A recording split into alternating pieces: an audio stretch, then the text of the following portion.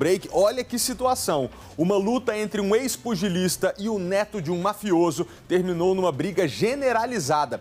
Esse evento estava combinado para acontecer em oito rounds de dois minutos cada.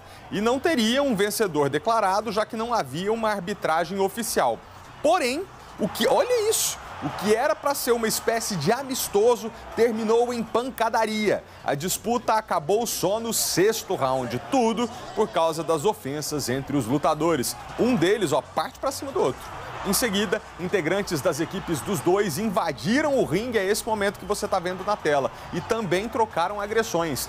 Do lado de fora, torcedores entraram no clima da violência, dando empurrões e muitos socos. Confusão que foi registrada, ó, isso aí já é do lado de fora. É, e a briga continuou, hein?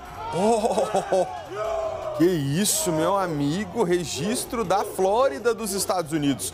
Pancadaria começou dentro do ringue e continuou fora dele também.